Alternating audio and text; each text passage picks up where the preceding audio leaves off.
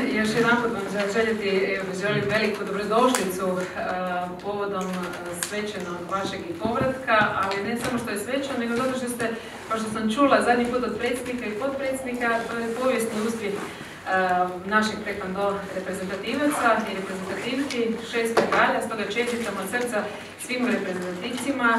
čestitam našem predsjedniku, gospodinu Nobilu, potpredsjedniku, gospodinu Primorcu, ovo je stvarno, ali naravno i trenutno, pardon, i gospodinu Tomasu na ogromnom uspjehu i pogotovo i klubu Marijanu, koji je stvarno napravio jedan nevjerojatan uspjeh, to sam rekla i na samom dočeku. Kao što znate, vlada je uvijek tu Republike Hrvatske u sve vas i uz hrvatski sport i ja mislim da to i pokazuje novi zakon o sportu nakon 16 godina koji je donesen koji je upravo tu i za naše mlade sportaše i sportašice vrlo važna stavka upravo zato što se omogućuje i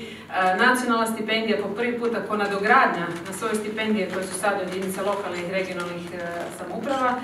i ono što nam je važno, mirovinski doprinosi za naše sportašice i sportaše, ono što nam je važno, ulaganje u sportsku infrastrukturu i ulaganje u naše saveze i da možemo pratiti sav vaš trud i rad. Stoga čestitam još jedanput i e, ja mislim da ste svi već spremni, kako sam čula zadnji puta kad ste došli, spremni ste za pripremu, za olimpijske igre u, pa, u Parizu. Hvala puno.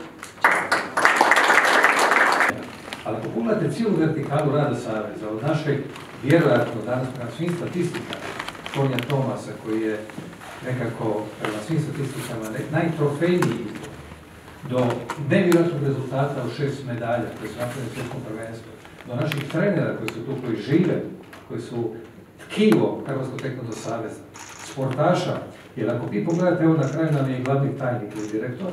kad vi pogledate ovu strukturu ovih ljudi, mladih intelektualaca, oni simboliziraju kakva Hrvatska danas može biti. Vama želim osobno zahvaliti jer ovo što mi svjedočimo oko ulaganja u hrvatski sport, vaše potpore hrvatskom sportu kao predsjednika vlade, o ministrici tu sam presubjektivan, jer nema događaja koji je za hrvatski sport da ministrica nije prva došla, pomogla i participirala u svakom veselju i sportaša, čak kad je bio doček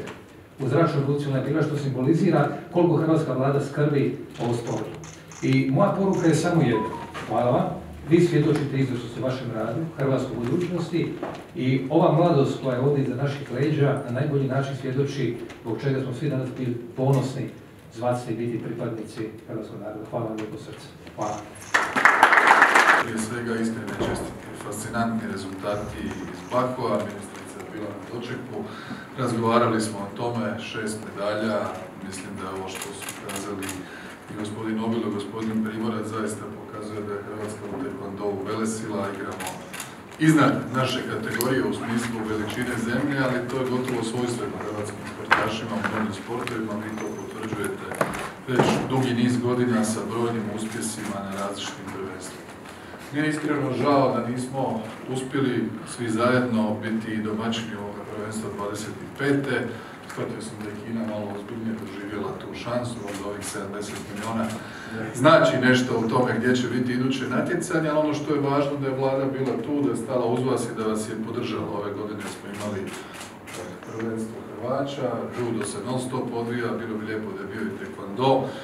Ja posebno vodim računa o toj nekoj loptačkoj kulturi Hrvata kad je riječ o sportu, da i ove sportove koje nisu s loptom isto tako maksimalno podržimo